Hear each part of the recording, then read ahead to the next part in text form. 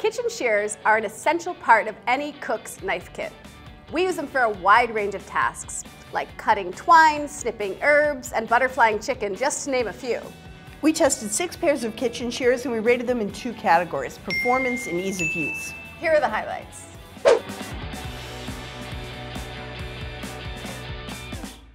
All right, so we've got our twine here and we are going to snip through them. Oh, Worked well, that pretty was well. yeah, this is good. Nice and sharp, that seems like. I have lots of thoughts on these that aren't, they cut the twine fine. Yeah. I'll leave it at that for now. All right, so all of these were able to snip twine. This is admittedly a very easy test. There are some shears out there that can't do it though. You might have one in your kitchen drawers right now. Um, but all these six, they were fine at twine. So let's move on. So I'm just cutting off the, the ends that don't look so great. These are doing pretty well. I think there's really only a very short area of these blades that is the business Yeah. end right here. So I'm kind of lining them up. That's sort of okay because it's precise, but if I was trying to cut bigger amounts of things, it's hard to open your hands up wide enough to use the full extent of these blades, which is a bit stumpy. It's about two inches. These are the Shun multi-purpose shears, and they are opening a lot wider and there's more blade length here. Um, so it's easier to not have to be working just at the very tip here. Longer blades. Longer blades and a little bit of, of serration here. Cool. Oh. Kind of like slipped. Did you yeah, I see can that? see it kind of like do a little thing where it turned on the stem. Okay, so these are the all-clad shears. Um, I'm gonna cut some rosemary, and I'm gonna cut it right down by the woody part of the stem and see how that does. Yeah. Kind of bends and then yeah, slips. yeah, it's not, it's not effortless, which is what you really want. All right, so this is one of our favorite uses of kitchen shears because they provide some really nice muscle to cut through chicken bones. Would you like to do the honors? Yes, I have the Shun all-purpose shears. Wow, I feel like I'm cutting through paper. That was awesome. That was so easy. With a knife, you know, you really have to like crunch through and you're, you're not cutting from both sides. They're, they're a little bit fat, these blades, and so when you're making the cuts, you really have to pull them apart. It didn't seem to get as wide. Yeah, it has these little micro serrations on the blade, and I think it grabbed the chicken pretty well, but it didn't feel quite as comfortable. It kind of slipped off there. Did you see that? Yeah.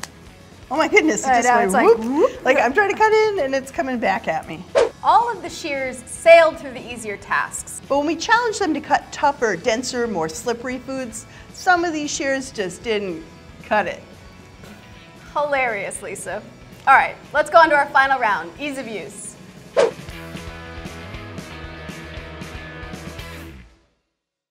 We have a beautiful pie dough rolled out, but as you can see, there's some overhang here and we need to trim this up. This is a really cool test because you want scissors that feel really dexterous because you're cutting, moving, going around a round surface. So I have the J.A. Henckels here. Okay, Let's see how this feels. How does that feel? Ah, it feels really good actually. It's really cutting neatly. It doesn't feel like you're able to do little tiny pieces and bigger pieces, and it's not stretching or distending the dough in any way. So, Hannah, these are the OXO shears, and we've traced the bottom of the cake pan, uh, circle there in our parchment, and we're gonna see how well they work and how they feel. How are the blades? Good. Nice and sharp. Tension feels right. Yeah, Um, we found some of these where you're opening and closing and they're very difficult, or on the flip side, way too loose and they don't have any, they don't help you at all. How's that? Nice, it dropped right in, looks beautiful. The tension's a little tight in these. They just feel a little stiff. Still cutting here for the rest of my life. All right, here we are with another test, a cauliflower, which may seem like a bizarre usage for kitchen shears, but actually this really gets at, an, at the agility again. And have you ever cut up a cauliflower and the little teeny little white bits get everywhere? This will make it much tidier. So I have a shun here.